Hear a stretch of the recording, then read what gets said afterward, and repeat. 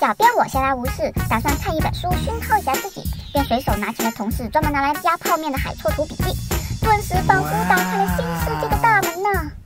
海错图是清代画家聂璜记录他在中国沿海亲眼所见、亲耳所闻的各种生物，它里面的画风是这样的、这样的，还有这样的，是不是很新奇啊？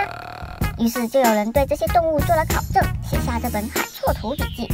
当小编我看到同种生物的对比图时，我就笑出了声。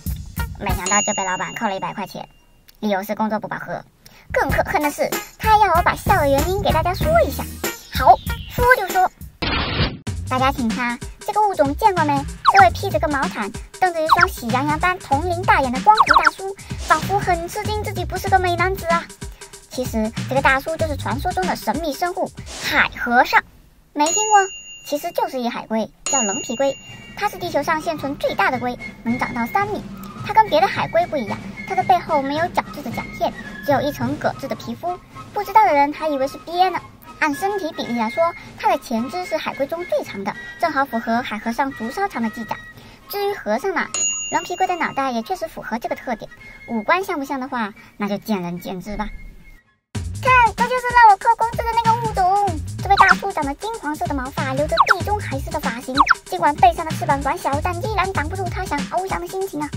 如果此时再给他一把弓箭，妥妥一个丘比特。那你知道这货是谁吗？这货就是美人鱼，原型叫做卢艮。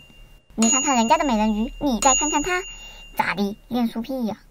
芦艮是一种生活在大海里的哺乳动物。相传，它喜欢把幼崽抱在怀里，然后露出海面喂奶。因为头上顶着海草，所以看得像女人。不过，卢艮确实是中国海兽里最像人的了。它的旗帜像人的胳膊，面部像微笑的胖子。但人家乳头是长在腋下，喂奶的时候是在水里。这货像不像小火龙？这敦实的底盘，亮丽的色泽，尤其是在浓眉大眼，画风简直跟葫芦娃一毛一样啊！咦，这里还有个小耳朵，那你猜这个体型修长、满身火焰的物种到底是啥？没错，它就是鳄鱼。那为啥它浑身火焰呢？那是因为这条鳄鱼是安南国国王给他父亲过忌日时，各地使者进贡的异兽，火焰是进贡使者绘上去的。河海错图的作者没有见过鳄鱼嘛，于是他就将别人的口述描绘了下来。看完这些，是不是觉得脑洞瞬间被打开了呀？老板还想扣我工资？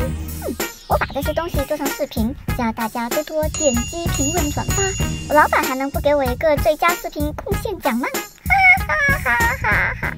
泱泱中华，地大物博，要说起国宝级动物，那就肯定是大熊猫了。